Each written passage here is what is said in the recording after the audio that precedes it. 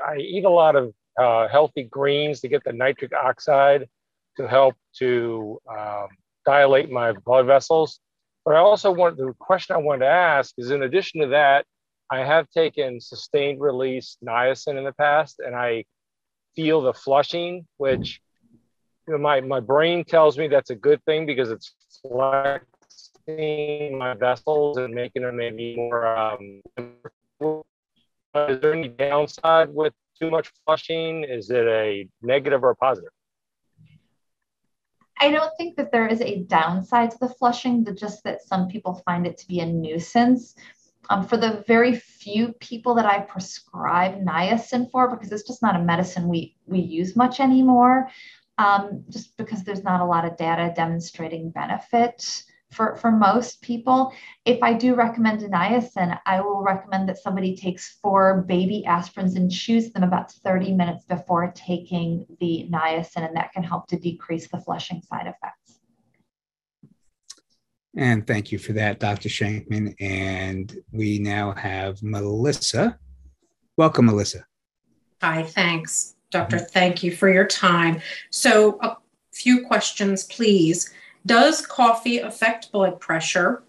Um, I am plant based uh, for about two years, and as of January, SOS free. Um, what would cause high blood pressure? Could it strictly be a lack of exercise? And is walking good, or do you need a more rigorous workout plan so many days a week? Thank okay. you. Um, walking is good exercise. Um, you know, depending where you're at, if you're somebody who's relatively fit and you can do something a little bit more vigorous than walking, then that's great. But walking is always a, a good starting point for um, for blood pressure. I, I think there were there were a few questions in there. I'm going to try to remember them. But you had also asked about coffee and does coffee raise blood pressure? And yes, coffee does slightly raise blood pressure, but there are also some beneficial effects of coffee on the heart. So I, I tell my patients that if you enjoy coffee, drink your coffee, just don't turn it into a big, sugary, messy beverage. That seems to make sense. Thank you very much for that. And now we have Paul coming in. Welcome, Paul. Uh, hi, thank you again. Um, uh, yes, doctor. I've been um, instead of low dose aspirin, I've been using nattokinase. What's what's do you know much about nattokinase? Uh, everything I've read uh, really touts it highly. Um, it depends on what you're using the nattokinase for. Blood flow. Okay. Um, instead of the low dose aspirin. Okay, it, it, depends on what your indications for an aspirin would be. If you're um, somebody who's who's had a cardiac event or you have known um, arterial disease, I would say you should be taking this the aspirin. There really isn't, unfortunately, there isn't a lot of good data. Um, there's a and there's a lot of data that shows that if you do have heart disease, um, that there is benefit from a baby aspirin, and we don't have that for nattokinase. Okay, thank you, doctor. Thanks very much for that. And um, so, again, if anybody else has a question, feel free to raise your hand. I'm going to jump into another one for now. And that is that, you know, some people are out there saying that the best oils are saturated fats, such as coconut oil and ghee and butter and lard. And what does the science say? The science would suggest that diets that are higher in those saturated fats tend to have an increased risk of cardiovascular disease. Um, so I encourage my patients to stay away from those things.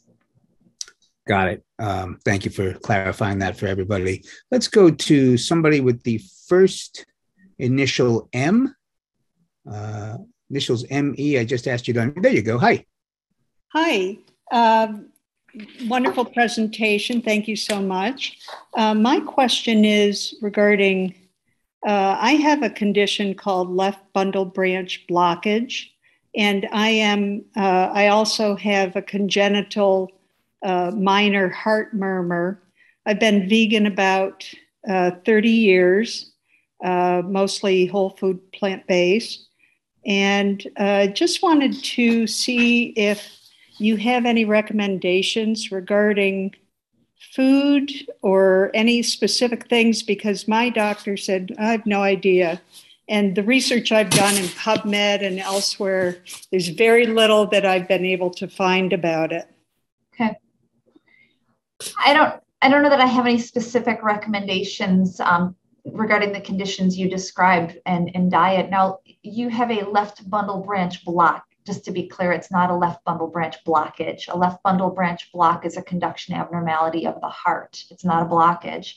Um, as for the murmur, it really depends on what, what the murmur is due to. But um, if you sounds like you've you've done a lot of research on your own. I really don't have anything to add. It's it is the uh, conduction issue. Yes, I know. Uh, and I'm just trying to understand. You know, how did that happen? Was I short on some minerals or something? No. I mean, I'm just trying to figure out how did that happen because I've been active and healthy for my whole life. So sure.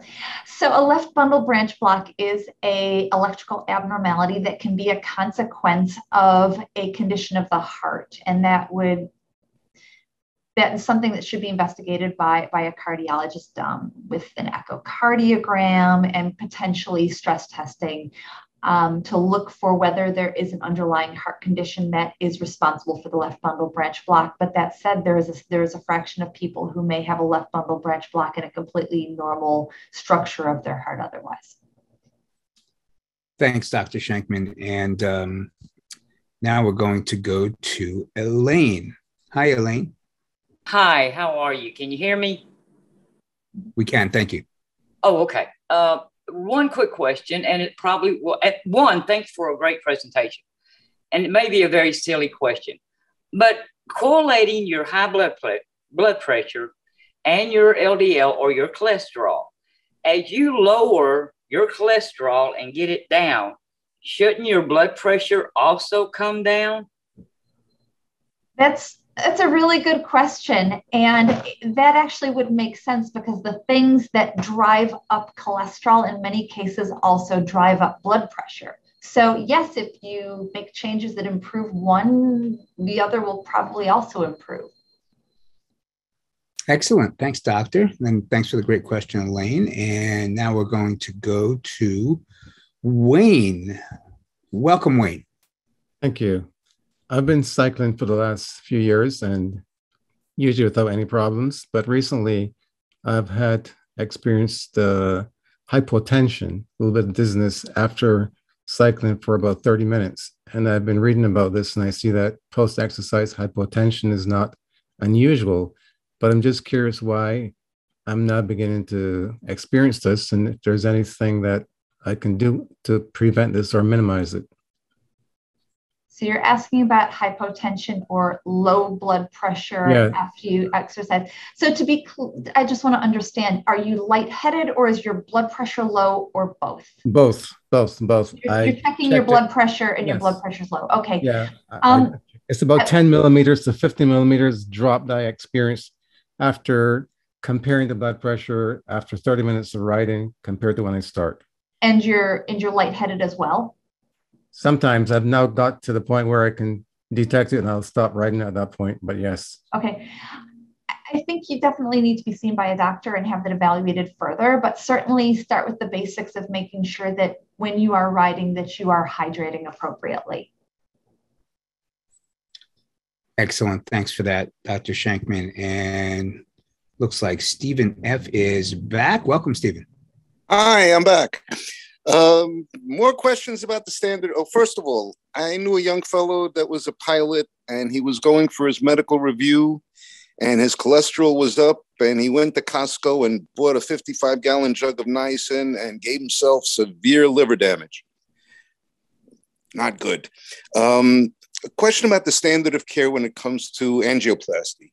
Mm-hmm. Uh, found myself in the hospital uh, with an with a cardiologist who did a high speed CAT scan when they first came out years ago and gave me a clean bill. At that time, they were also pushing uh, angioplasty. And there was I don't know something on my EKG that freaked everybody out. Next thing I know, I'm back. At, I'm back in the same emergency room, and uh, and they were adamant that you know it's it's I'm 14 years older. You need to have uh, angioplasty, and I just you know, and it was and, and it was awful. There was like no informed consent. It was like, you know, the same thing like take this or you'll die. same same terrible pressure, both from the interns and the residents, and the you know it was awful. And the next morning, finally, they admitted me, and I had to agree to take a thallium stress test Four hours later, they kicked me out of the hospital. They said, "You're, I don't know, your your your volume going in and going out is perfect. You're fine." But they wanted to do a, an angioplasty in the worst way. Um, again, what's up with the standard of care in cardiology? Thank you. I, I'm sorry you had that experience. It sounds like that was pretty traumatic. Um, so, angioplasty, the standard of care is not necessarily practiced everywhere by everyone. But what our societies recommend is that an angioplasty is definitely indicated, or, or re, I should say, revascularization, whether it be with an angioplasty or a bypass, is indicated in the setting of an acute heart attack um, or an unstable cardiac event, or in certain anatomical situations, such as if there is severe disease of the left main coronary artery or severe three vessel coronary artery disease. If you are an otherwise stable patient who um, has the incidental finding of a blocked artery, putting a stent in is not something that's going to reduce your risk of heart attack or stroke or, or prolong your life. Um, and that's something that when I, when I do procedures on my patients, I, I make very clear to them that if we're going to be doing an angioplasty, it's to open an artery and in, improve their, their symptoms. It's not necessarily to um, save their life if, in fact, I am not taking care of them in the setting of an acute heart attack.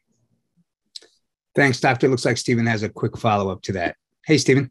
Yeah, like I said, there was no blocked artery. It sort of felt like the gastroenterologist with the with the colonoscopy. You know, I can see what's going on when I go in there if there's a problem. That was the that was the push. Okay.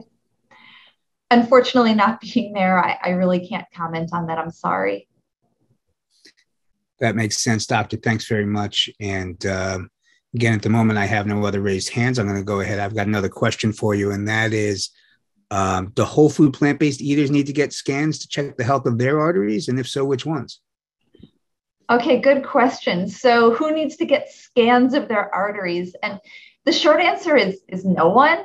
Um, it's if you're feeling well and you're doing fine and you're able to exercise and you're not having problems, you don't you don't need to have any type of artery scan or, or stress test. Um, I think it, it depends, regardless of what you're eating, it really depends on the clinical scenario. If you're somebody who's having symptoms, you have chest pain or shortness of breath, or you have a significantly abnormal EKG or, or some other significant findings, then that would indicate further workup. But we don't routinely do heart scans on people arbitrarily.